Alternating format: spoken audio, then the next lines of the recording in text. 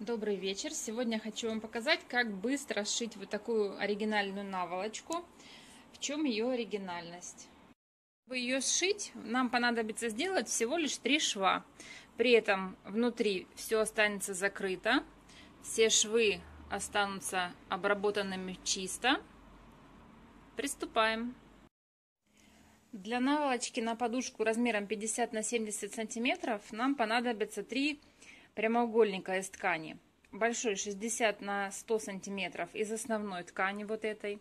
28 на 100 из ткани компаньона и 5 на 100 из вот этой отделочной ткани, которая у нас будет кантиком. Далее ткани складываем таким образом. Сначала вот эту полосу ткани среднюю, которая у нас будет каймой на наволочке, кладем лицом вверх. Наш кантик утюжим пополам, сгибаем лицом наружу, кладем сверху. И самый большой кусочек ткани кладем сверху. Здесь уравниваем срезы и закалываем все булавочками. Это мы все делаем по длинным сторонам прямоугольников, там, где у нас 100 сантиметров. Делаем это все только с одной стороны.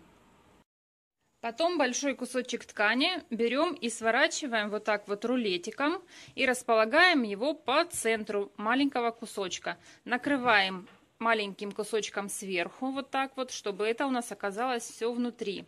И прикалываем сюда же, к этим же срезам, такую вот колбаску получили мы. Скололи эти срезы и стачали их шириной припусков 1 сантиметр. Вот такая штука у нас получилась. Теперь нужно вот отсюда из середины вытащить то, что внутри. Аккуратно, не спеша.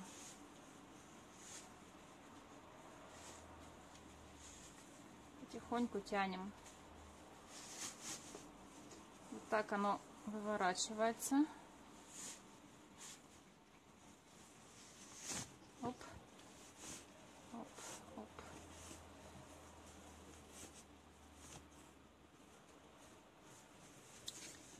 Вот получилась наша кайма, закрытая с двух сторон. Смотрите, здесь нет никаких припусков.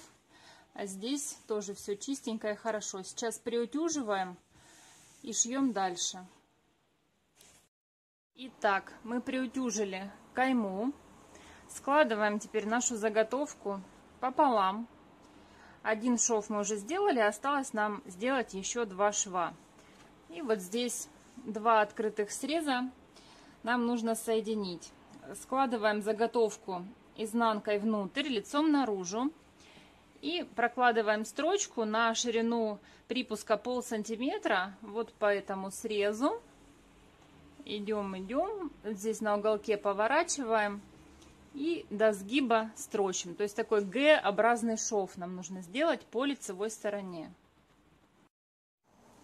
Проложили строчку, обязательно вот здесь совместите, где у вас кантик и начало строчки тоже оба среза совместите, чтобы они не съезжали. Проложили строчку и припуски срезали, как вот здесь, на ширину 2-3 миллиметра. И уголочек высекли. По этой стороне сейчас тоже обрежу припуск. Далее наш маленький припуск заутюживаем на какую-либо одну любую сторону по всей длине. И вот по короткому срезу тоже заутюживаем. Это мы делаем для того, чтобы нам сейчас было легче сформировать сгиб на изнанке. Выворачиваем наволочку наизнанку расправляем, выправляем уголочек. Самый кончик уголка можно подправить иголочкой. Вот, и у нас теперь есть такой сгиб, который легко можно согнуть.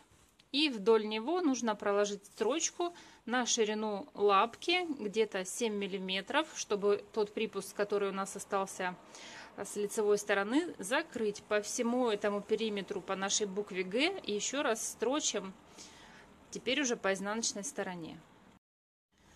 Проложили строчку и теперь можем вывернуть нашу наволочку. Также выворачиваем.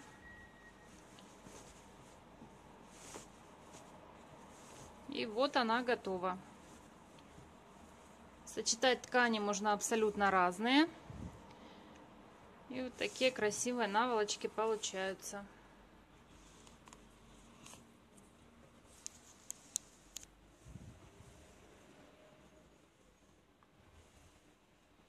Размеры тоже можно делать разные. А, зная принцип сшивания, вы можете сами рассчитать теперь под нужный вам размер. Шейте, пользуйтесь с удовольствием.